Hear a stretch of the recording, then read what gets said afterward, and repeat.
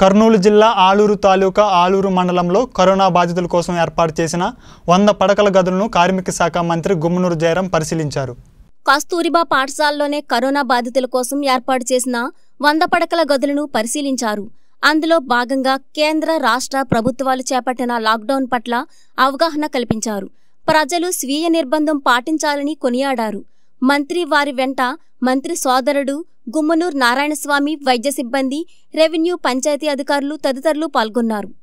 రాయలసీమ నుంచి కర్ణాటకకు కర్ణాటక నుంచి ఒరిస్సాకు ఇలా బార్డర్లో ఎంతో మంది కార్మికులు వారు వారి ప్రాంతాలకు వచ్చేదానికి అక్కడి నుంచి వచ్చి జిల్లా బార్డర్లోనే వాళ్ళు స్టాప్ అయిన రోజులు కనబడుతున్నవి.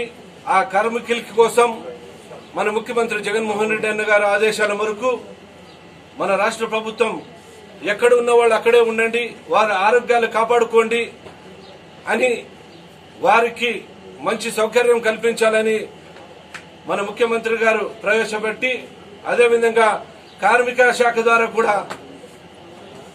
జిల్లాకు ఒక నాలుగు జిల్లాలు కలిసి ఒక జేసీఎల్ ఉంటాడు.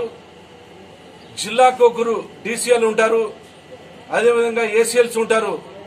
వారు కూడా లేబర్లకు కార్మికులకు ఏమాత్రం కూడా ఇబ్బంది కలుపుకోకున్నట్ల ఆ జిల్లాలో ఉన్న ఎక్కడ ఉంటే కార్మికులు ఎక్కడ ఉన్నారో అక్కడికి పోయేసి వారి సౌకర్యాల కోసం ఒక కళ్యాణ మండపాలు అయితేనేమి అదే ఆరోగ్యం మందులకు విషయం అయితేనేమి రాష్ట్ర ప్రభుత్వాలతో మాట్లాడుకొని వారి ఆరోగ్యాలు బాగు చేసి ఈ లాక్డౌన్ ఉన్నంత వరకు వాళ్ళు చేష్గా ఉండాలని చెప్పేసి ఆ జిల్లా బార్డర్లో ఉన్న కార్మికుల కోసం కూడా చాలా పెద్ద పీట వేసి వారి ఆరోగ్యాలు కాపాడుకునే దానికి మన ముఖ్యమంత్రి జగన్మోహన్ రెడ్డి అన్న గారు ఎన్నో అవకాశాలు ఇచ్చి వారి ఆరోగ్యాలు కాపాడుకునే దానికి ముందున్నాం మనం మన- మన ప్రభుత్వం. కాబట్టి ఏదేమైనా కూడా ఈ ఆరోగ్యం అనేది మనం కాపాడుకోవాలి.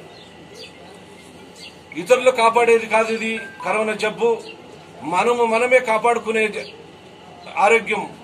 కాబట్టి ఈ లాక్డౌన్ ఏప్రిల్ పదహైదు వరకు ఉంది కాబట్టి ఇది కొనసాగించినా కూడా మనందరం మన ఇళ్ళకే పరిమితై మన ఆరోగ్యాలు కాపాడుకోవాలని చెప్పేసి రాష్ట్ర ప్రభుత్వానికి రాష్ట్ర ప్రజలకు అదేవిధంగా ఈరోజు పెద్ద ఎత్తుగా ఈరోజు మన మన రాష్ట్ర ప్రభుత్వానికి సహకరించిన పోలీస్ డిపార్ట్మెంట్ అయితేనేమి డాక్టర్స్ అయితేనేమి గ్రామ వాలంటీర్లు అయితేనేమి గ్రామ సచివ ఉద్యోగాలు అయితేనేమి ప్రతి ఒక్కరూ వారి వారి ఉద్యోగాలు ఎలా ఉంటే అలా నీటిగా ప్రజల కోసం మేలు చేయాలని చెప్పేసి చాలా పెద్ద మనసుతో ఈరోజు వాళ్ళు సేవ చేస్తున్నారు కాబట్టి ఆ సేవకు మీరు కూడా సహకరించి మీరు వారి వారి ఇళ్ళలో పరిమితమై ఏప్రిల్ పదహైదు వరకు ఉంది.